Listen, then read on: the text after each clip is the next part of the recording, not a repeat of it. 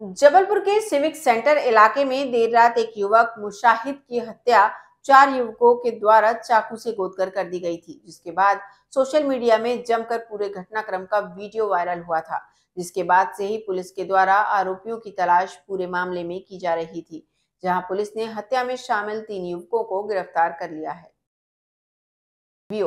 वहीं एक अन्य युवक अभी फरार है, जिसकी तलाश पुलिस कर रही है। वहीं मामले में जानकारी देते हुए थाना प्रभारी ओमती वीरेंद्र सिंह पवार ने बताया कि लकड़गंज निवासी मुशाहिद नाम के युवक को चाकू मारकर हत्या करने के आरोप में सुजल सोनकर, अमन तिवारी, आदित्य झा को पुलिस ने देर रात गिरफ़्तार कर लिया था। वहीं मामले में एक आरोपी चीनू सोनकर फरार है, जिसकी पुलिस सरगर्मी से तलाश कर रही है। वहीं पुराने विवाद को लेकर मुशाहिद की हत्या की गई है। पुलिस पूरे मामले की जाँच अभी कर रही है। जबलपुर से वाजिद खान की रिपोर्ट। नितेश बर्मन ने हम लोग आगे ताप रहे थे। आगे तापते तापते।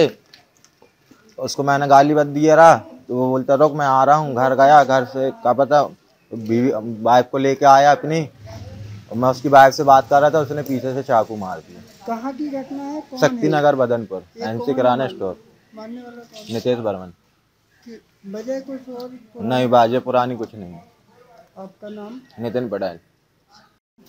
क्या हुआ था हमें क्या पता चला आपको? हमारे लड़के को छेड़ता है हमेशा पैसा छीनता है और आज पास में बुलवाया आगे तापने के लिए और चाकू मार दिया। कहाँ की घटना है? शक्ति नगर बदनपुर। कौन है ये मारने वाला? नितेश। नितेश बर्मन। कहाँ का रहने वाला है? बदनपुर। आपका नाम? मीरा। आपके बेटे नितिन।